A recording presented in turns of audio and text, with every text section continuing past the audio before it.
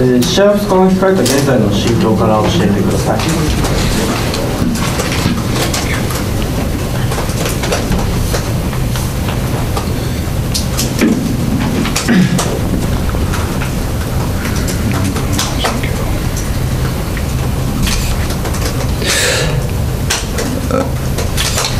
まあ、しっかりやれてきた練習やれてきたこととあとまあちょっと体重がまだ落し落としきれてなくて、えーちょっとそっちに頭の比重が結構いってるって感じですね。体重、まあ、減量の面で今、一つその頭痛いっていう話ですけど、例えばその対戦相手に関してっていかがでしょうか？あえー、カール・アモーズ選手若くてですごく攻撃的であの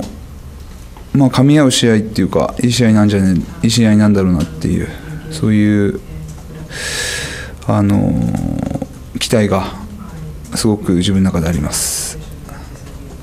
まあ、吉田秀彦選手が引退されて、まあ、中村選手が吉田道場を引っ張っていく立場になったわけですけれども、そういった意味で、プレッシャーとかっていうのを感じません。プレッシャーはやっぱありますし、えー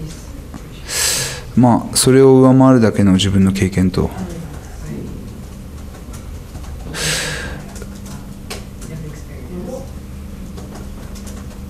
まあ、テクニック、そういう部分を生かして試合に臨もうっていう今はそういう心境です。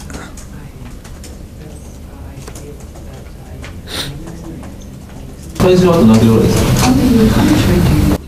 か？あと3点ちょっとぐらいですかね。はい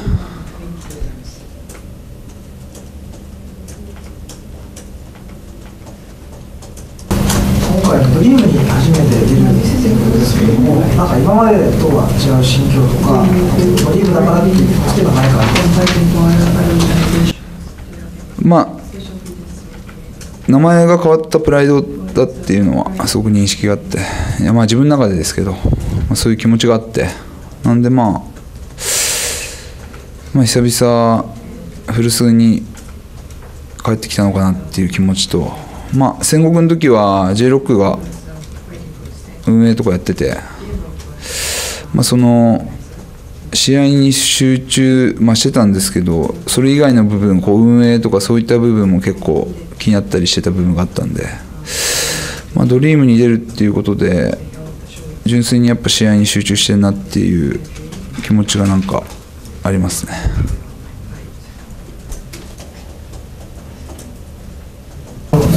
アメリカでずっと練習されてるんで、それは今回の試合に向けて、なんかどういう意味でプラスになってるんですか？ここ、まあ、2005年とか6年は海外結構ブラジルなりオーストラリアとか、えーアメリカなり行ってて。で、まあ、ここ23年っていうのはなかなか家族のことだったり、まあ、中村屋のことだったりいろいろとちょっと格闘技だけどっぷり使ってるっていう気がしてなくて。でまあだいぶ周りのことも落ち着いてきたんで。3週間ぐらいちょっとアメリカに格闘技やりに行けてなんか自分自身ではなんかすごく目標もまた出てきたしモチベーションも上がってすごくいい練習ができたなっていう。でまあ試合にもいいように採用するんじゃないかなってこう思ってます。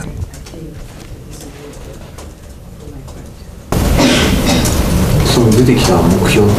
ていうのはなんかこう具体的にお話しできるありますか？やはりもう一度、まあ、世界で強豪って言われてる選手と戦いたいっていう。で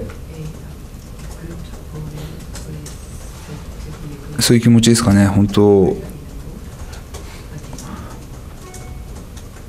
まあ、技術的にも精神的にも世界で活躍している選手とこう見劣りない